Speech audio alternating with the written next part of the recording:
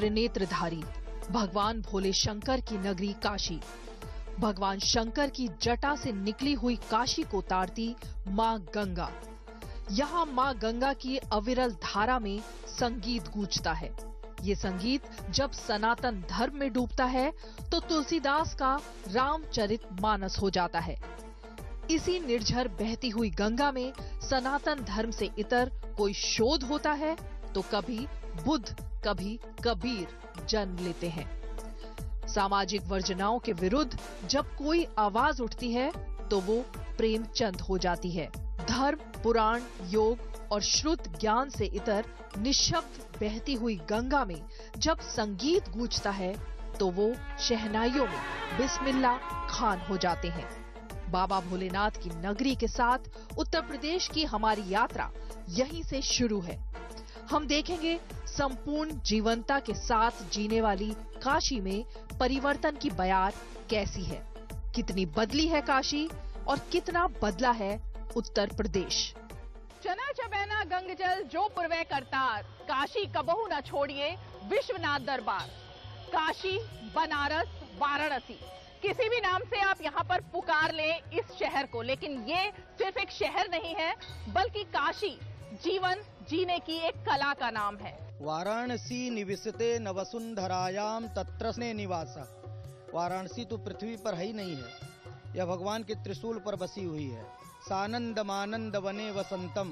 इसको आनंद वन के नाम से जाना जाता रहा। वाराणसी के अधिपति राजा धीराज महाराज भगवान श्री काशी विश्वनाथ हैं और वही यहाँ के अधिष्ठाता हैं। तो आज जाकर के यह परिकल्पना मूर्त रूप लेने जा रही है।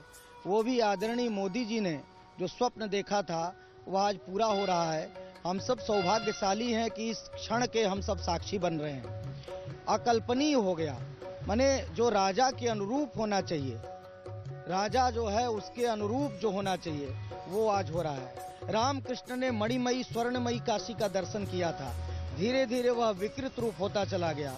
आज यह जो आनंद वन की जो कल्पना थी, आज मूर्त रूप लेते हुए दिखाई पड़ रहा है, जब हम इस प्रांगण में खड़े हैं, देख रहे हैं कि ललिता घाट से लगायत बाबा विश्वनाथ के दरबार तक यह इतना प्रशस्त स्थान हो गया, विस्तृत स्थान हो गया कि लाखों लाख जब यहाँ पर धर्म प्राण लोग आएँगे तो उनको आनंद की अनुभूति होगी।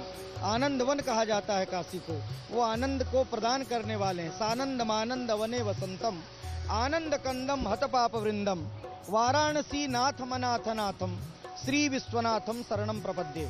रानी अहिल्याबाई होलकर के बाद आज आप ये एक पूरा का पूरा मोहल्ला जिसमें लगभग साढ़े तीन सौ मकान और उन लोगों ने सहर बाबा के दरबार का चूँकि विस्तार होना था, सुंदरीकरण होना था, और जैसा कि आदरणीय मोदी जी ने कहा था यहाँ की पुरातनता को नष्ट किए बिना इसको कैसे सुंदर बनाया जा सकता है वह सुंदर आपके सामने यह स्वरूप दिखाई पड़ रहा है। अकल्पनीय लग रहा है क्योंकि इससे पहले जब भी हम काशी विश्वनाथ के मंदिर में, बाबा के दरबार में आते थे तो कभी हमने ये सोचा भी नहीं था कि सीधे माँ गंगा से निकल करके, यानी वहाँ से दर्शन करके हम सीधे महादेव के दर्शन करने के लिए, बाबा के दर्शन करने के लिए पहुँच पाएँगे। और इतना ज़्यादा जो ये खुला माहौल आपको दिखाई दे रहा है, इतनी खुली ये जो जगह दिखाई दे रही है, जहाँ से सीधे अब आप मंदिर तक पहुँच सकते हैं, वो भी यहाँ पर कभी बन पाएगा, ऐसी सोच भी लगता है कि किसी के पास नहीं आई थी लेकिन ज़ाहिर तौर पर ये संकल्प उठाया गया इच्छा शक्ति दिखाई गई और उसके बाद नामुमकिन चीज़ जिसके बारे में आ, हमारी सोच भी नहीं जाती थी वो भी अब हकीकत में तब्दील होती हुई दिखाई दे रही है।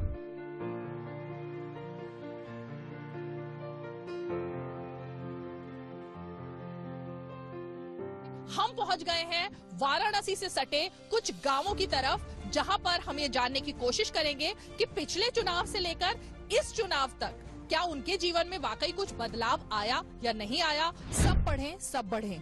ये सिर्फ़ नारा है या वाकई में हकीकत? ये जानने के लिए जब हम इस गाँव में आगे बढ़े तो हमारी निगाह इस स्कूल पर पड़ी जिसने हमें अपनी तरफ़ थोड़ा सा आकर्षित किया, क्योंकि एक अलग तरीके का यहाँ पे ये स्कूल हमें दिखाई दिया गाँव में। अंदर जब जाते हैं जयपुर गाँव में तो यहाँ पर ये सुंदर सा स्कूल है, जिसमें चित्रकारी, पेंटिंग हुई हुई है बच्चों के लिए और बहुत सारे अलग अलग तरीके की यहाँ पर हमें बाहर से ही चीज़ें दिखाई दे रही थी, जो स्कूल को थोड़ा सा अलग बनाती है सबसे। और क्या खासियत है स्कूल की और गाँव में खासकर बच्चों को अपनी तरफ़ लुभाने के लिए या बच्चे स्कूल की तरफ़ पढ़ के पढ़ने के लिए आए। उसके लिए यहाँ पे क्या क्या खासियत की गई है यही हम जानने के लिए स्कूल में आ गए हैं और कुछ लोग यहाँ पर बैठे हुए हैं। आप आपका क्या नाम है?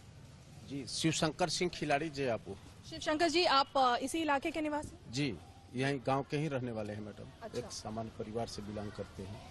ये हमें स्कूल ने अपनी तरफ़ बहुत ज़्यादा आकर्षण दिया और यहाँ पर देखिए अलग अलग तरीके से जो पेंटिंग है कुछ खासियत लग रही है स्कूल की कुछ खासियत है क्या खासियत है? यह चार दीवारी जो बना है यह जो विद्यालय के नए नए कमरे दिखाई दे रहे हैं स्मार्ट क्लासेस दिखाई दे रहे हैं लाइब्रेरी रूम दिखाई दे रहे हैं आपका यह सब जो सारी व्यवस्था है यहाँ पर इसके पहले यहाँ पर एक कमरा था और उस कमरे में बच्चे पढ़ रहे थे।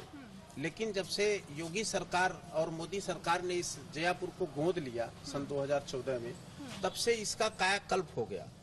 ये इंग्लिश मीडियम स्कूल है। जी इंग्लिश मीडियम और हिंदी से और इंग्लिश से दोनों से पढ़ाई चलती है। जी। लेकिन इंग्लिश से जब से हो गया है इसका मॉडल इंग्लिश स्कूल तब से यहाँ पर केवल इंग्लिश में पढ़ाई चल रही है। देखिए, बहुत दिलचस्प यहाँ पर चीज़ें दिखाई दे रही है। यहाँ पर ये आरओ का जो शुद्ध पेयजल और हैंड वॉशिंग यूनिट बनाई हुई है बच्चों के लिए। मेन्यू लगाया हुआ है कि जब उनको मध्याह्न का भोजन मिलेगा, जो कि योजना है सरकार की, उसमें सोमवार, मंगलवार, बुधवार, गुरुवार, शुक्रवार, शनिवार, सब जगह मतलब पूरे हफ़्ते में बच्चों को क्या क्या मिलेगा उस कितनी कैलोरी होगी उसमें कितना प्रोटीन होगा, ऊर्जा कितनी होगी, तमाम चीज़ें यहाँ पर मेंशन की गई। और सिर्फ़ यहीं पर बात खत्म नहीं होती, बल्कि model English school, primary school, Jayapur ये है। स्मार्ट क्लास और लाइब्रेरी रूम भी यहाँ पर है, जिसकी चीज़ ज़रूरत इस समय में तो कम से कम कोविड के टाइम पर दिखाई दे भी गई थी, और वो दिख भी रही है। कोविड में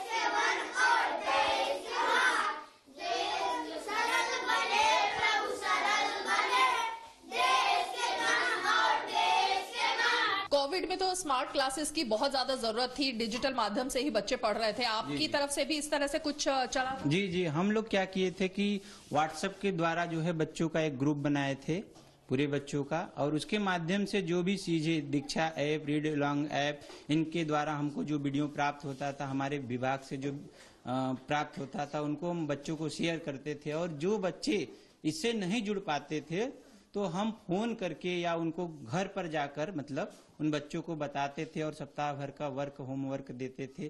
और जो है जिन बच्चों के पास मोबाइल की सुविधा नहीं होती थी तो उनको हम दूरदर्शन के माध्यम से जैसे एक जगह जैसे चार पाँच बच्चों को जिसके घर नहीं टेलीविज़न की सुविधा है तो इस तरह से हम लोग प्रेरणा भी देते थे प्लस जो है व्हाट्सएप के द्वारा पढ़ाते थे मोबाइल के फ़ोन के द्वारा पढ़ाते थे।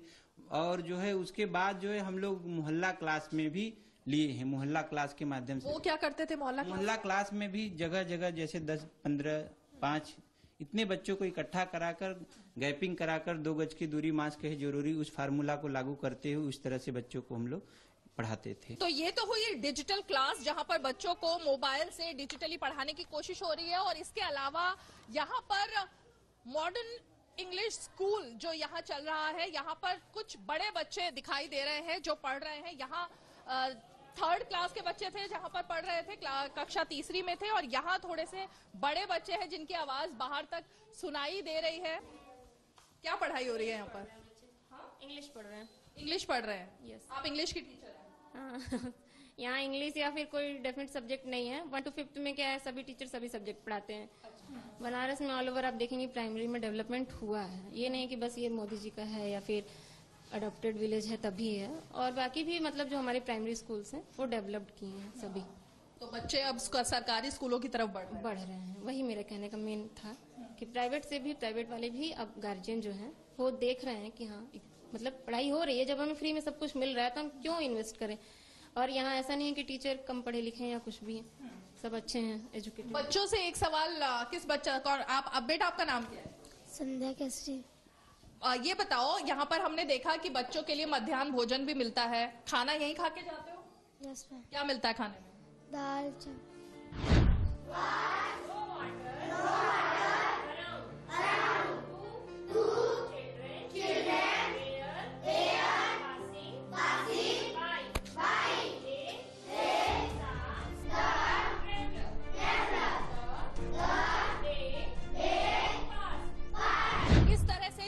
बच्चे प्राइवेट स्कूल छोड़कर सरकारी स्कूल की तरफ़ बढ़ रहे हैं तो हमें लगता है कि ये एक बड़ी बात है किसी भी देश के लिए, किसी भी गाँव के लिए और खासकर भारत के लिए, जहाँ पर छोटे इलाकों में और गाँवों में से भी निकल करके बच्चे यहाँ पर आ रहे हैं। अब ये एक और क्लास है। सबसे अच्छी बात जो यहाँ पे रमेश सर हमें दिखाई दे रही है, वो है कि लड़कियों की, बच्चियों की संख्या, बेटियों की संख्या यहाँ बहुत ज़्यादा है क्लास में।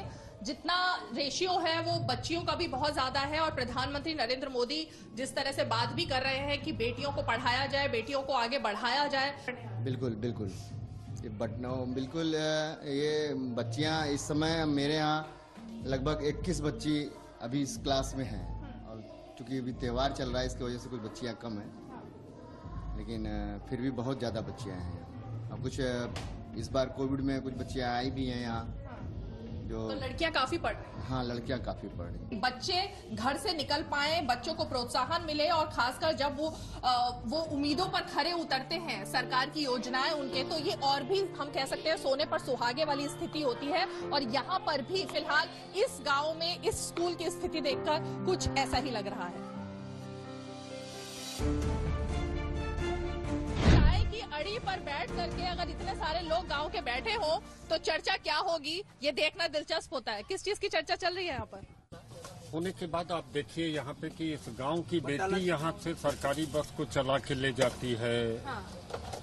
वाराणसी तक मुख्यालय तक। यहाँ बैंक खुल गया। यहाँ पे रिजर्वेशन की रेलवे की सुविधा हो गई। यात्रियों के लिए प्रतीक्षालय बन गया। तीन तीन सोलर पैनल सोलर प्ला, सोलर प्लांट से ये मशीन लगे हुए हैं जिससे लोगों को पानी मिल रहा है सिंचाई का काम हो रहा है।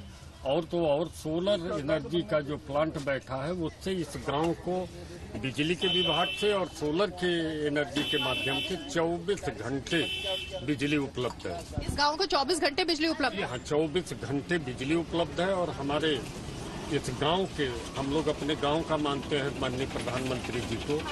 इस गाँव के हमारे प्रधानमंत्री जी हैं और उन्होंने यहाँ के गाँव के हर घर में, हर घर नल योजना से पानी पहुँचाने का काम उन्होंने किया है। अभी यद्यपि ये गाँव सभा पूरी तरीके से ये इलाका किसानी पर आधारित है। यहाँ सब्ज़ी का अच्छा खेती होता है।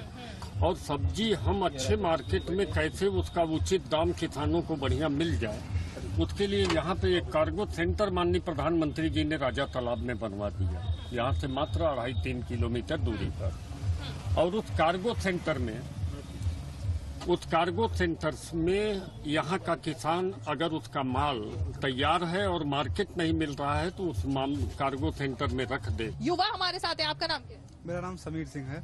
समीर आप भी यहीं के रहने वाले जी जी जी। समीर युवाओं के लिए इस इलाके में क्या बदला है? युवाओं के लिए बहुत बदलाव हुआ है। जैसे कि युवा यहाँ के जो दूर दराज से बाहर काम वाम करते थे, वो जब आए, देखे यहाँ का हालत तो कितने युवाओं को इसी बैंक में नौकरी मिल गया पोस्ट ऑफ़िस में कुछ लोगों को रोज़गार मिल गया।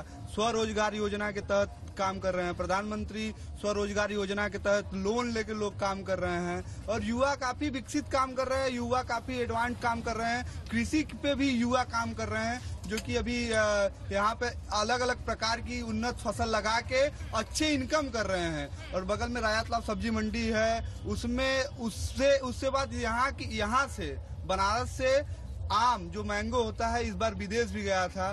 तो यहाँ काफ़ी युवा काफ़ी सक्रिय है और युवा काफ़ी खुश भी है। तो आपको ऐसा लग रहा है कि जो नारे दिए गए थे उन नारों को हकीकत में बदलने की कोशिश हुई है? जी जी एकदम पूरी तरह से हुई है। पहले पानी भरने के लिए दूसरे के चपाकल पे जाना पड़ता था कुआँ पे जाना पड़ता था। रोज किचकिच हो कि अरे ई ना भरिया पहले हम भरब पीलू भरब। इसके बाद हुआ क्या कि जब हर घर जल हर घर नल योजना आई हर घर के पास टोटी लगा और सबके घर में पानी आया।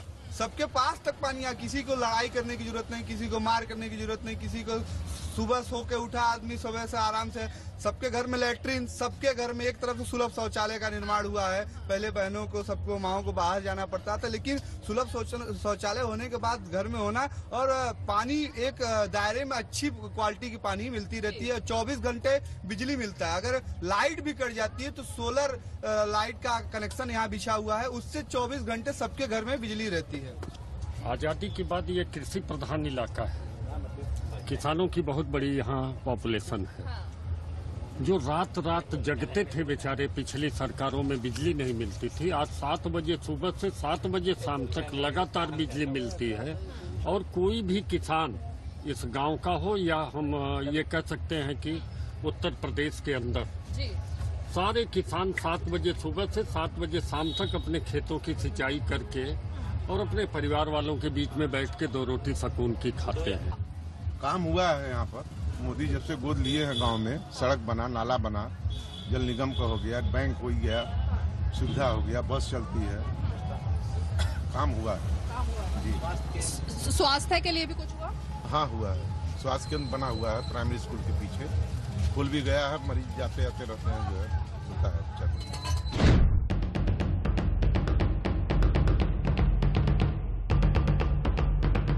इस इलाके में हम जब गाँव के पहुँचे हैं तो यहाँ देखकर एक सुखद अनुभव हुआ कि यहाँ पर आवास योजना के तहत बहुत सारे पक्के घर यहाँ पर लोगों को मिले हुए हैं और टाइल्स लगी हैं इन घरों में, दरवाजे बाकायदा लगे हुए हैं और ये जो अटल नगर यहाँ पर बसाया गया था जयापुर गाँव में, उस अटल नगर के तहत यहाँ पर सबको अपना आशियाना, अपने सर पर छत, ये योजना, ये स्कीम यहाँ पर चलाई गई थी, जिसमें कि लग रहा है कि यहाँ पर सफल साबित हुई मंझारी जी, कब से रह रही हैं यहाँ पर? बहुत दिना से। पहले बरसात हो कुछ कास रहल तो पानी बरसत तो चुंगा बहा। वही में सब रहा अब अब बन गल तो बढ़िया से हो गल है। हाँ। तो आपका अपना घर ये बन के तैयार हो गया हाँ इसमें हाँ। मोदी जी का अटल नगर बनल है हम्म। हाँ। और कितने लोग हैं आपके जान पहचान के जो यहाँ रहते हैं? यहाँ सब पूरा लेके साठ आदमी के ऊपर है। अच्छा। हाँ छोटा से बड़ा साठ के ऊपर है।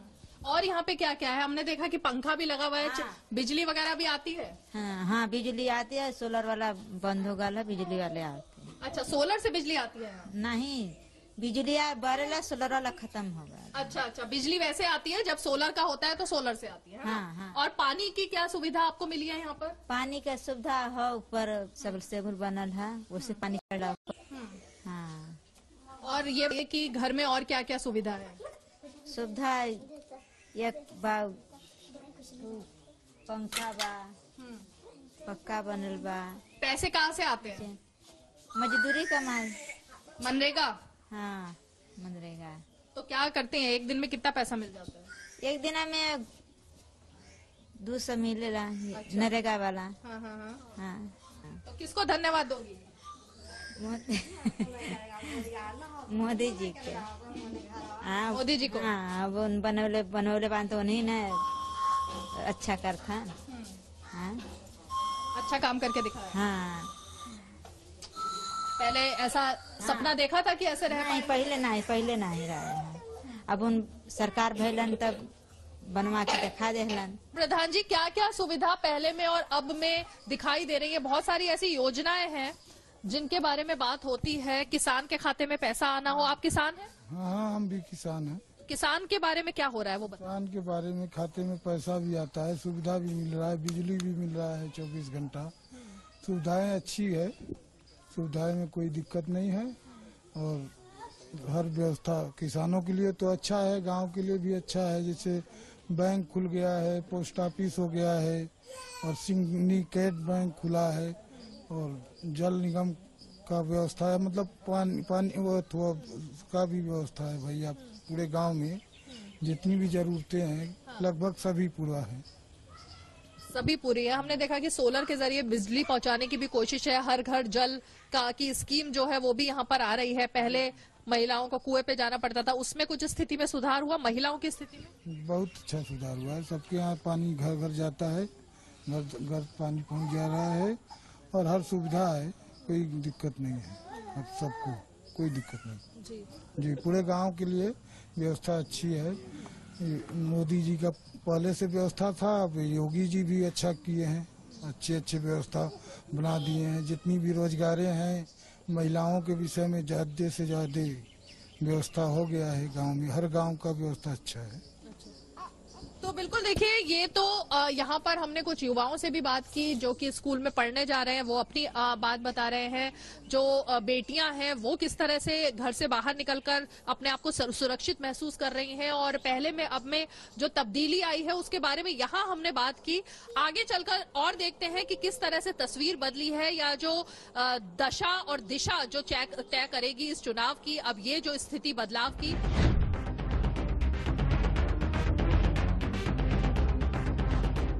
बनारस की हो और बनारसी साड़ियों का ज़िक्र ना हो, ऐसा कैसे हो सकता है?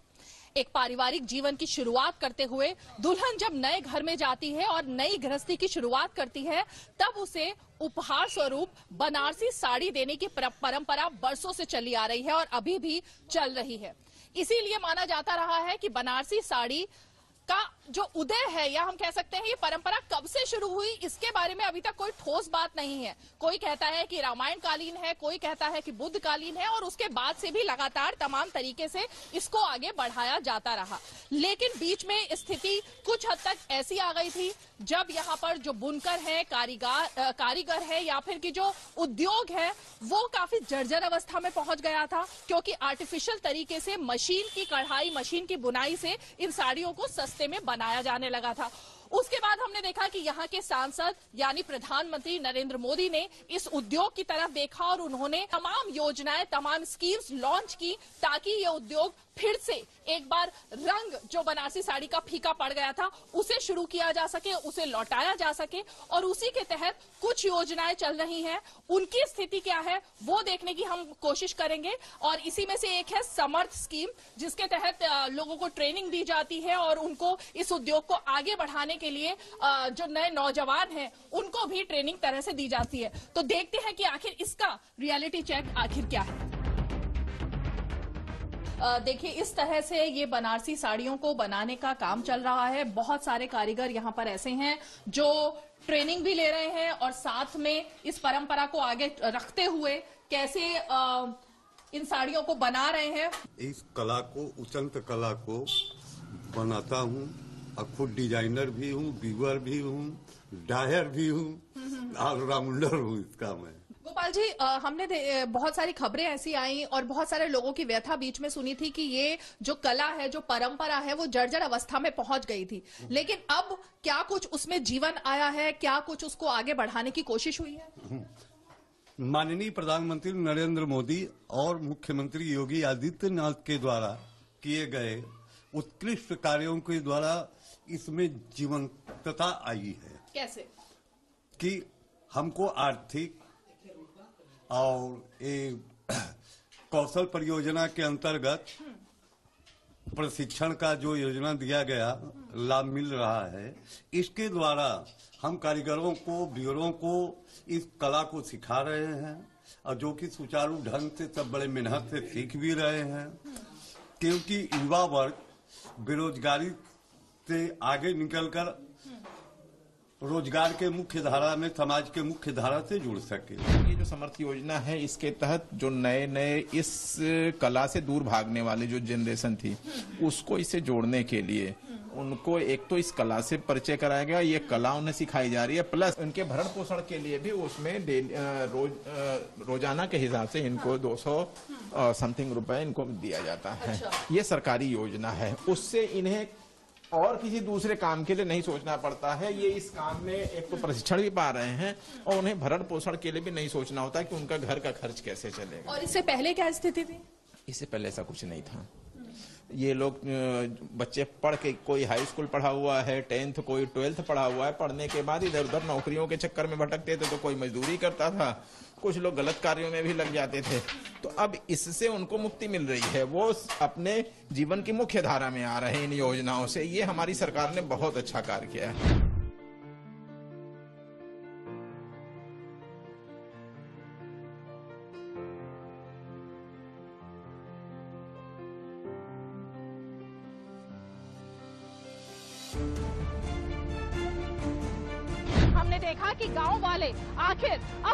सोच रहे हैं और उनके जीवन में क्या परिवर्तन आया है? अब वो सिर्फ़ वोट बैंक की राजनीति से जुड़े हुए ही नहीं है, बल्कि वाकई में अब वो हिस्सा बन चुके हैं योजनाओं का। और किस तरह से बदलाव ना सिर्फ़ उनकी ज़िंदगी में आया है, बल्कि वाराणसी में भी आया है। और ये बदलाव नकारात्मक नहीं, बल्कि सकारात्मक है, सुख देने वाला है। और आने वाले दिनों में आने वाली पीढ़ियाँ जो वाराणसी की होंगी, वो भी सुख का अनुभव करेंगी इस बदलाव, इस इस विकास की धारा से जुड़कर। तो आज के हमारे शो में इतना ही। एक और सिटी यानी क्या बोले यूपी में, किसी और शहर में एक बार फिर आपको लेकर चलेंगे। अभी तक के लिए इतना ही। हर हर महादेव।